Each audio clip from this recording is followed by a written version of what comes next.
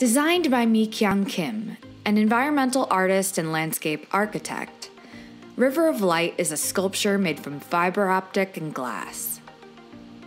Kim is known for using natural resources and man made materials to create a multisensory experience with an environmental message. Commissioned by GSA's Art and Architecture program, the sculpture was installed in the Federal Building and U.S. Courthouse in Wheeling, West Virginia in 2004. The artwork consists of two parallel bands of glass layered to appear as though they cascade into the central atrium. The translucent glass is embedded with fiber optic cables to depict the pulse and shimmer of moving water. Reflecting the nearby Ohio River and Wheeling's own industrial past, River of Light unites historical reference with modern materials. River of Light is one of two works Kim designed for GSA.